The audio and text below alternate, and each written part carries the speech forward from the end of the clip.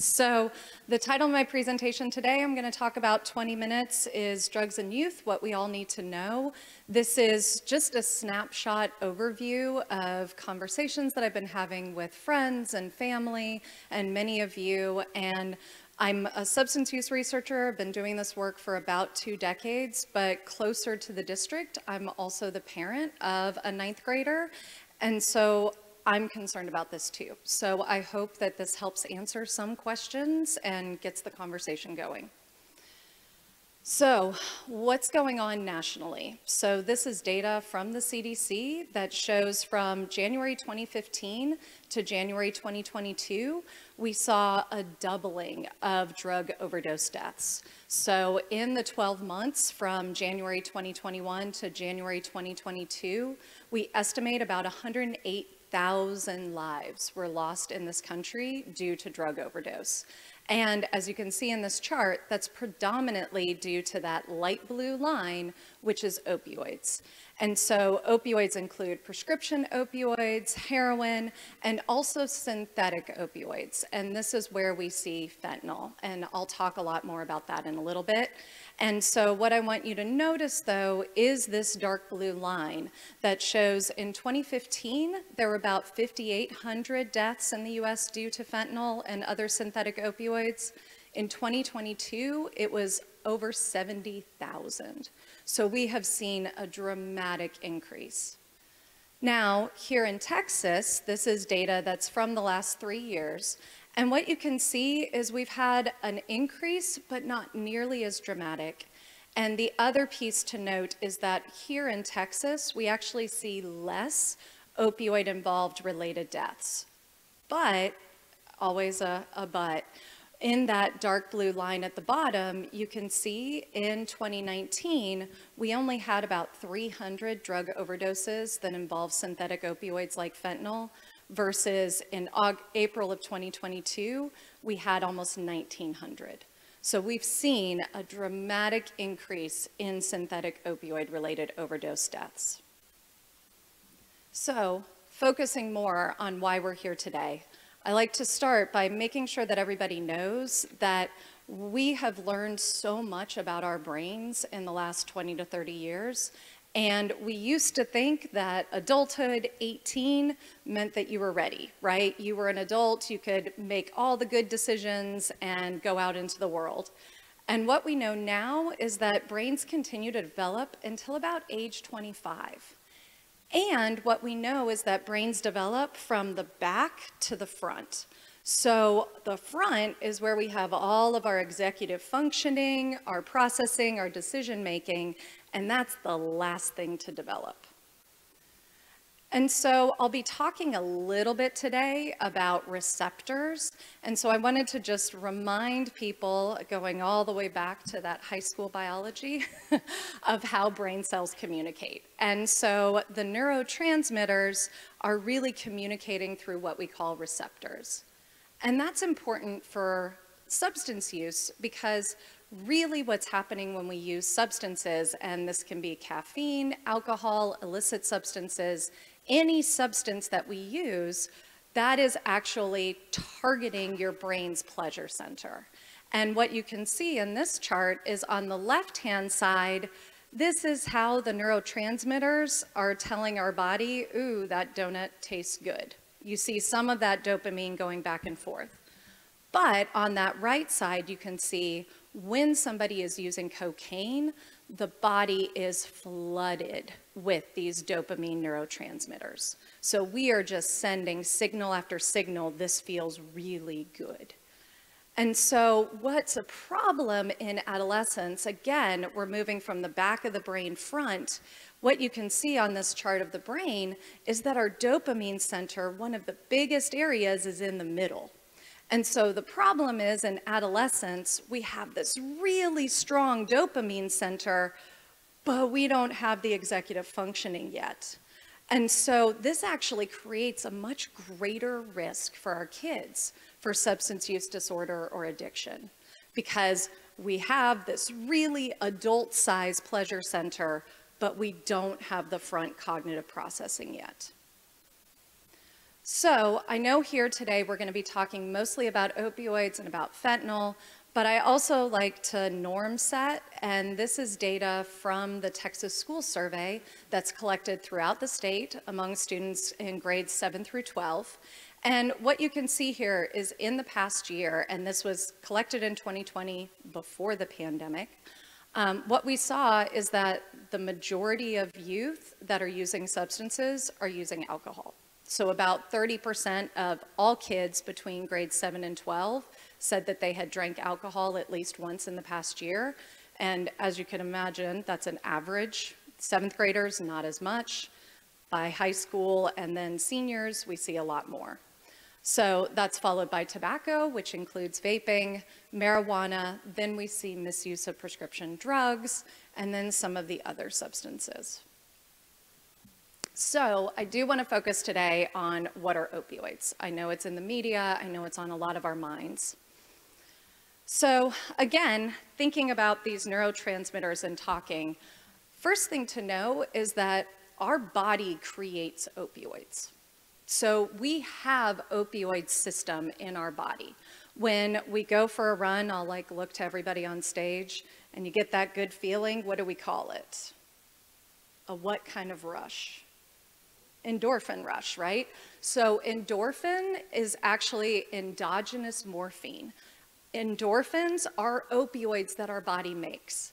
And we do that because it counteracts that fight or flight response. So if we're being chased by a bear, we need to decide whether or not we're gonna fight the bear or we're gonna run. And that means that we have to work a lot harder. We might need to handle getting swiped by a bear, maybe broken arms and our body's internal opioid system kicks in so that we can be protected. So we naturally have these opioid receptors all throughout our body. So what the problem is then is these artificial opioids, the opioids that are outside of our body, they have that lock to already go into. So I like to talk about it in terms of thinking of a key and a lock.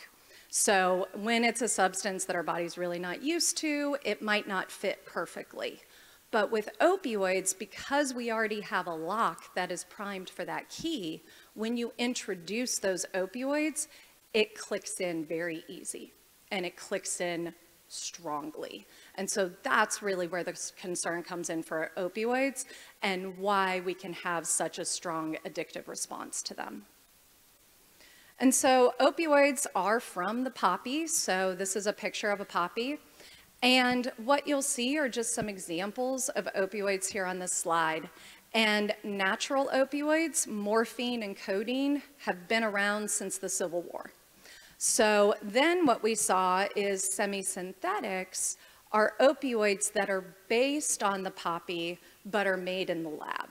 So interesting historical fact, heroin was actually made and sold under Bayer, the same people who give you Bayer aspirin.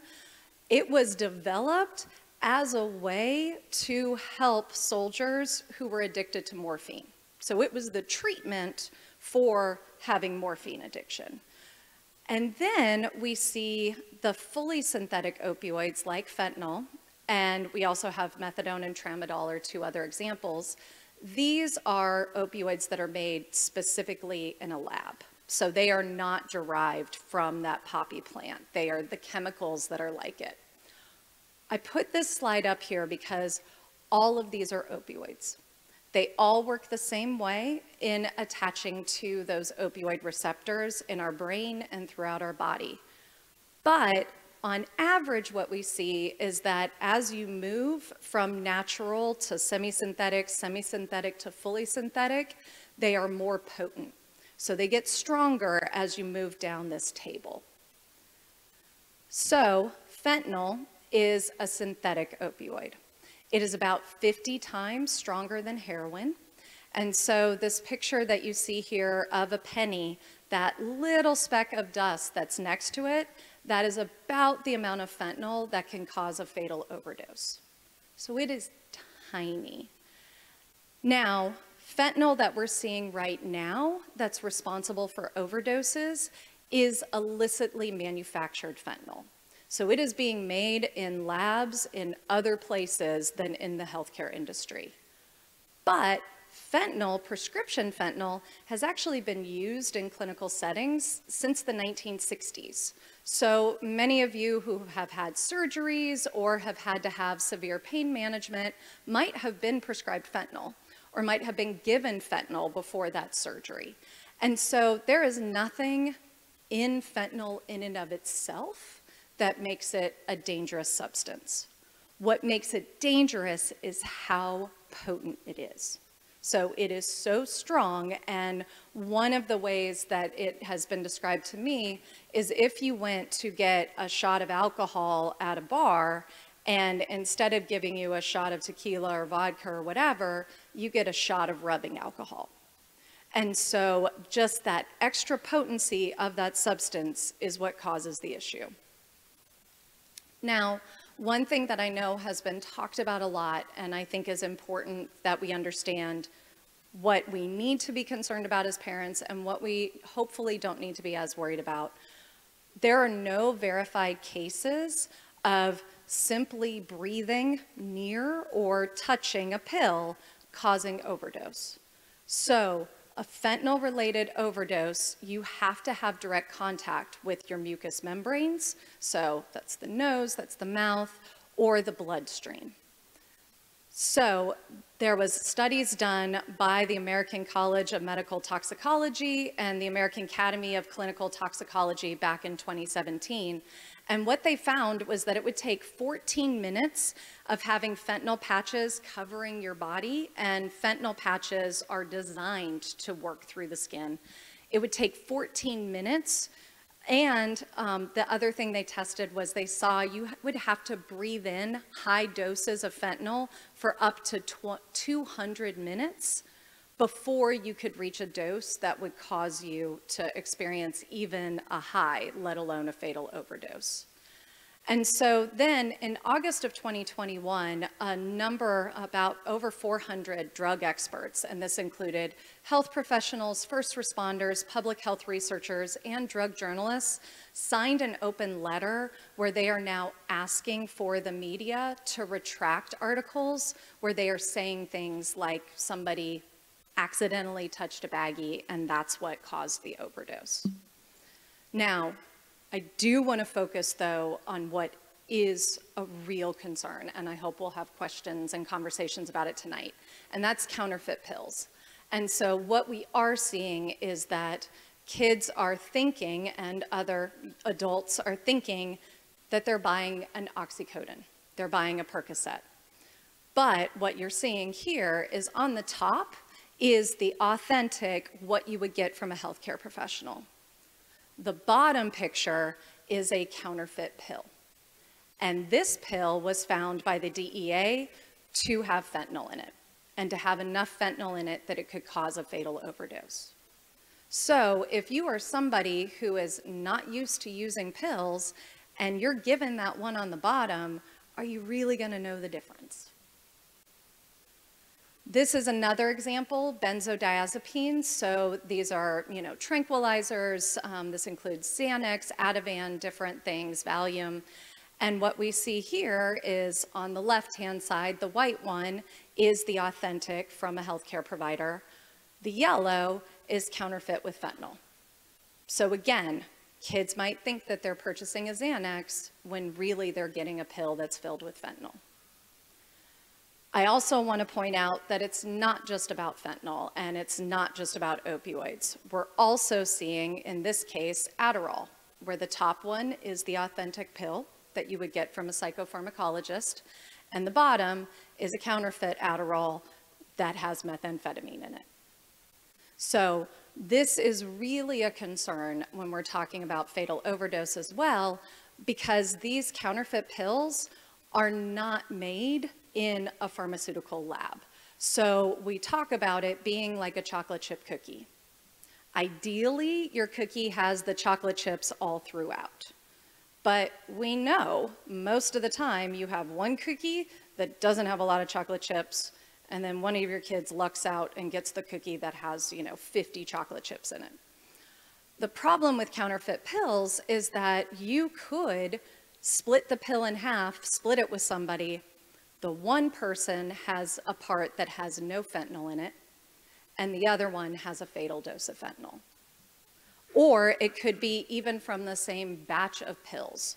One pill has a fatal dose of fentanyl and the other one doesn't. So this is why we're really concerned about counterfeit pills. And a recent article came out showing that um, the DEA has seen just this exponential increase in the last five years. So going from a little under 300,000 pills seized to almost 10 million pills seized in the last few years. So I wanted to make sure today when we're talking about all of the things to be concerned about, what we can be doing. And so naloxone or Narcan is one of the most beneficial things that I think we need to know about when it comes to opioid overdose. So again, this little picture on the right, we're going back to receptors. And what naloxone does is it takes that opioid that's sitting on the receptor and it pops it off. So the naloxone is a better key to that opioid lock than the opioid is. And so it forces that opioid off. It can be administered by anyone. One of the real benefits of naloxone is there's no psychoactive properties, meaning it's not an opioid. So if somebody is not having an overdose, you're not going to end up getting them high, and there are no harmful effects. So there are no reasons, if you think somebody is experiencing an overdose, not to give them Narcan. Now, one of the important pieces that we need to know as well is that Narcan only works on an opioid overdose. So if there's alcohol poisoning, if there's other drugs, methamphetamine, cocaine, benzodiazepines, Narcan doesn't work. It only pops off those opioids. And it's short acting. So typically it will wear off in about 20 to 90 minutes. And so it's critical to call 911, make sure you're getting the first responders there, and to make sure that you stay there until help arrives or at least four hours to make sure that that person is doing okay. I wanted to show for people here and live streaming, this is a box of naloxone. I actually purchased this from my pharmacy last week. In the state of Texas, you do not need to have a prescription for it. You can go to any pharmacy and you ask and you say, can I get naloxone? And I went after work, so it took a little bit of time, but within an hour, I had the naloxone and it was the copay for my insurance. So anybody can get naloxone. It is shelf stable. Um, now that it's finally cooling off in Texas, we can start to have it in our cars. Ideally, you would keep it in a cool, dry place, but it also doesn't expire for two years. And you get two doses in a box. Okay. So I also wanted to end my part, and I really appreciate everybody for sticking with me, on why is it that youth use drugs? What do we do for prevention? So we were talking before we started today that we're talking a lot about what we do once somebody is already using, and we know the best thing we can do is prevention. So understanding why is it that youth use and what is it that we can do. So back in 2017, the Surgeon General of the United States convened a panel of researchers and scientists and public health professionals to really look at all of the data over the last few decades to say, okay, what works in terms of prevention, in terms of treatment, and also recovery support services. So what I'm gonna show tonight is just an overview of what has been shown to work. So at the individual level, and what you'll see is everywhere that there's an X, that means that these factors are associated with adolescent substance use or adolescent substance use disorder and the same thing for young adults. So at the individual level, we know that there's a genetic component. Individuals who have a family history of addiction are more likely to experience addiction. We also know early initiation. So going back to that, one of those first slides, the brain development, we know that using before the age of 14 presents a much greater likelihood of having substance use disorder in adulthood. Early and pers persistent problem behavior. So this can be as early as kindergarten, first, second, third grade.